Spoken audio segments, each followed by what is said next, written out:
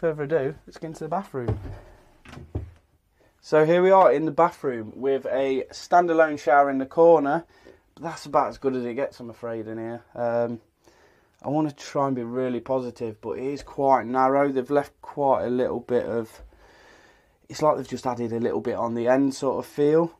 Um, it's all nice and modern, nice and posh. You got a light in here so you can see what you're doing, as well as the really noisy extractor fan. But they have thought that through just to get the, the moisture out of the air. But again, the finishes are all lovely, but it's just a bit too a bit too narrow for me. Might be because I'm fat, but it's a little bit too narrow for me. But apart from the toilet, I think they've got it absolutely bang on.